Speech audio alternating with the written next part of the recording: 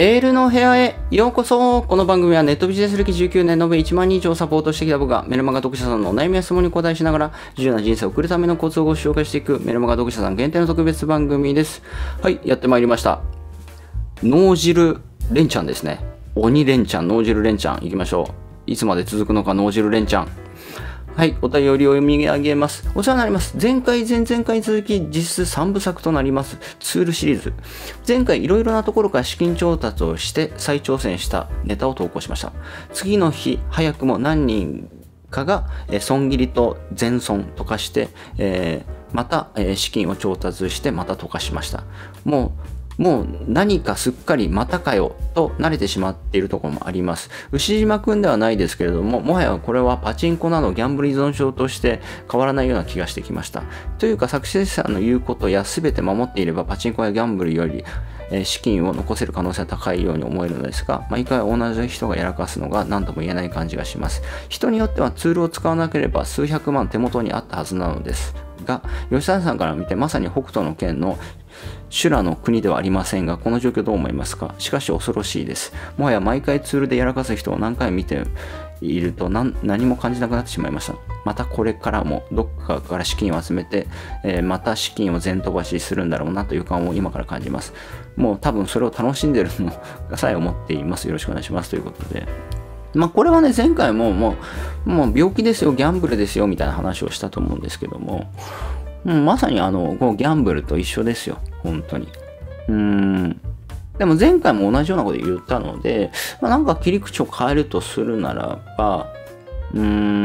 ん、切り口を変えるとするならば、でも病気だからな。だからもう治療はし、でも病気だけどそそれを病気と思ってないんですよね。だからそのギャンブル、あれも面白いんですよね。パチ屋行くと、なんかその、なんかたまに貼ってあるパチ屋があるんですけど、なんかでなんかサポート電話みたいな。あの使いすぎギャンブル依存症で抜けられないあなたはここに電話してくださいみたいな。そうギャンブルを提供してギャンブルを提供している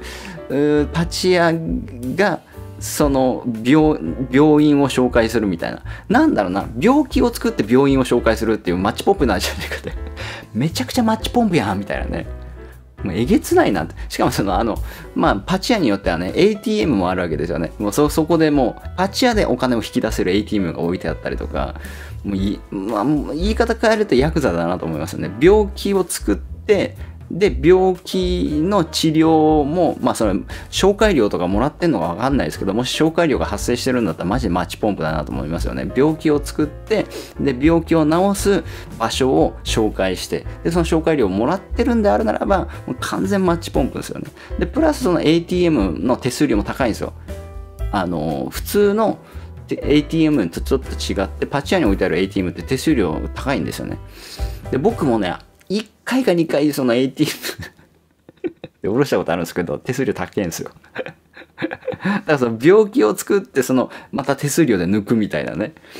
やばいっすよね、あれ。すごいビジネス。まあ、もの、言い方変えるとすげえビジネスだなと思いますけどね。究極系だなっていう。だからそのなんだろうな、バイオハザードって映画の中でも描かれてるんですけど、あの、会社がね、な、何の会社だったかな、そのウイルスをばらまいて、で、ウイルスをばらまいて、そのウイルスの特効薬、その薬を売るためにね、その薬振るためにウイルスばらまいて、で、薬を売るみたいな。で、富を得るみたいな。もうすごいマッチポンプビジネスですよね。やばいですよね。まあそれ映画で描かれてるやつですけど、でもそのコロナもどうなのかっていう、まあこれあんま話すと良くないかもしれないですけど、もしかすると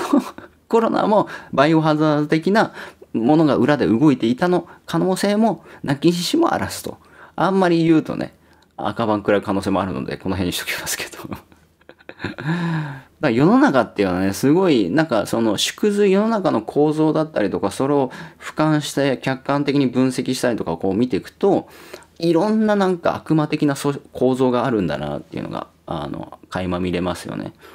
うん。それをやっぱマーケティング視点でその分析できる。まあ、脳汁太郎さんなんかね、今なんかこれをなんかもはや俯瞰的に見れるわけじゃないですか。昔は自分がその人の状態だったわけですよね。でもこれが思考がちょっとステージ上がったことによって俯瞰的に客観的にその現象を見れる、分析できるようになる。そこに、そこに疑問を持つようになる。なんだ？そこれってどうなのかみたいな話ですよね。だから昔に比べると脳汁太郎さんはかなりやっぱステージアップはしたんじゃないかなと思います。このものの見方ができるわけじゃないですか。で昔はそのものの見方ができなかった。解釈ができなかった。展開できなかった。だから自分も同じように多分あの資金をどっかで作って入れてただろうしね。昔の自分だったらね。うん。そう結構ねたまにいただきますけど吉谷さんと出会ってあのなんだ？そうやっぱ考え方が変わった考え方が変わったことによって昔取ってた行動が取らなくなりましたみたいなね意見いただいたりとかするんですけどこれねほんと大事ですよ。ものの視点見る視点を変えられるようになるっていうのは超大事マジ大事であと解釈と展開あと深掘りえーと、考察こういうことがすごくできるようになってくるともう全然違う学びにも自分のメリットにも変えられるし自分の未来を変えるっていうとこにもつなげられるし全部変えられるんですよ。だけどこの物の視点の見方だったりとかそこが変わらなかったら同じ決断同じ行動同じ判断をしてしまうので結局ぐるぐるぐるぐる回ってしまうんですよね。だからそのあり地獄なよあり地獄から抜ける同じ視点同じ解釈同じ思考そのそのスパイラルそこから得る結果悪い結果のスパイラルから抜けるためにはそこから抜け出して違う視点で物事を分析する解釈するっていう考え方思想がないとダメなんですよ。でそれを学ばないといけないんですよね。でもこうここにはまってる人たちはね、まあ、あり地獄の中にはまってるんでなかなか難しいんですよね。なかなかその視点あり地獄を1キロ先から見るとかねうん、1キロ先は言い過ぎか。まあそのアリ地獄に入っているアリを、あ、まあ、幽体離脱みたいな感じですよね。幽体離脱って昔芸人さんいたと思うんですけど、その幽体離脱して俯瞰的に見るっていう。だから僕って結構ね、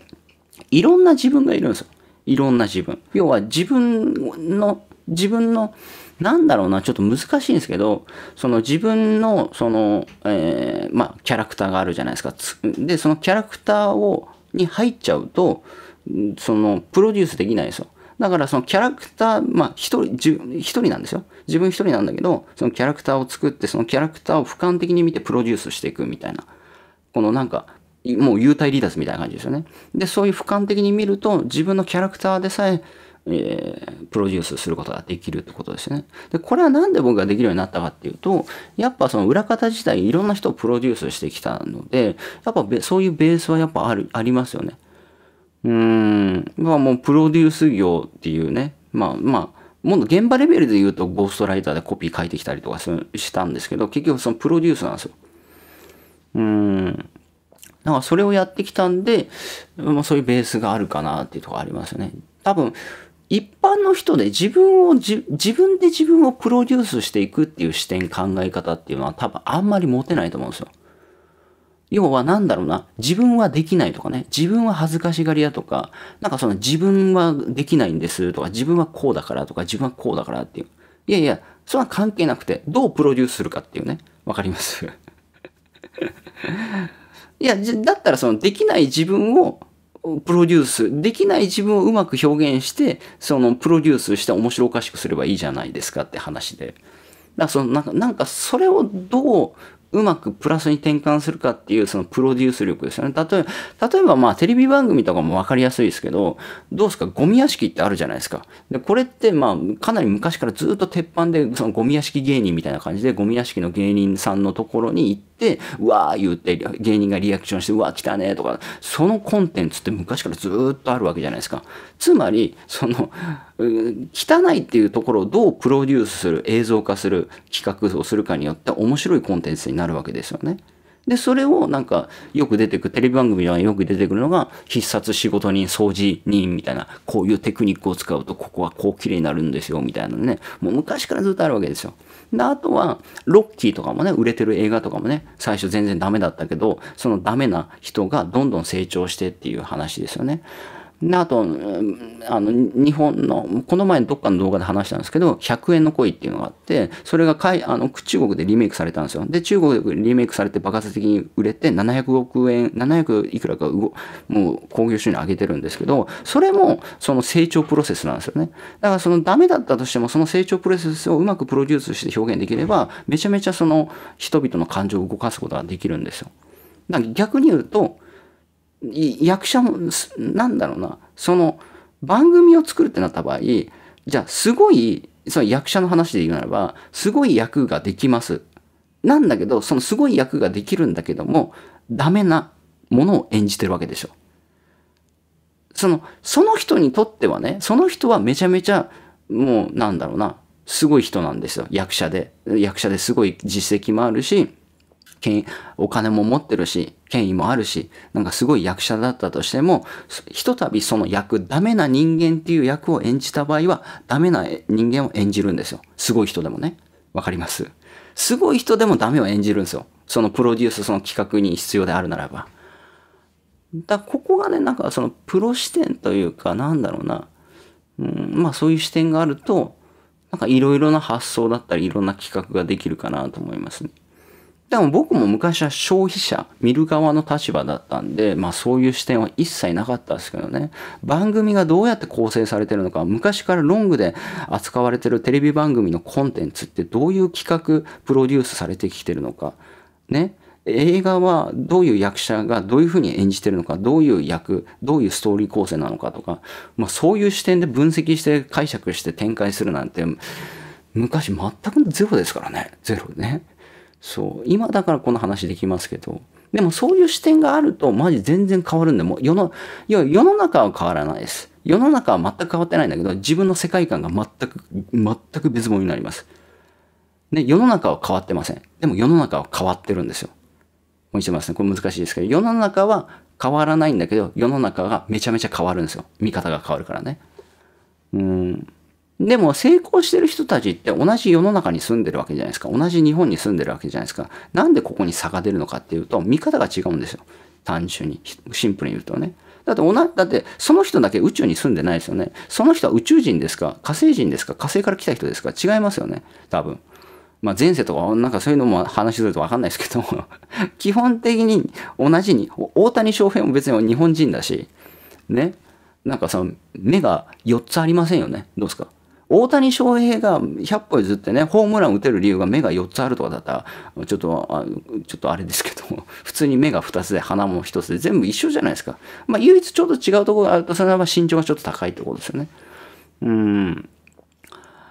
まあ、でも同じ日本人ですよね。で、身長が高い人って別に大谷翔平と同じ身長ぐらいの人って世の中探せばいっぱいいるだろうし。うん。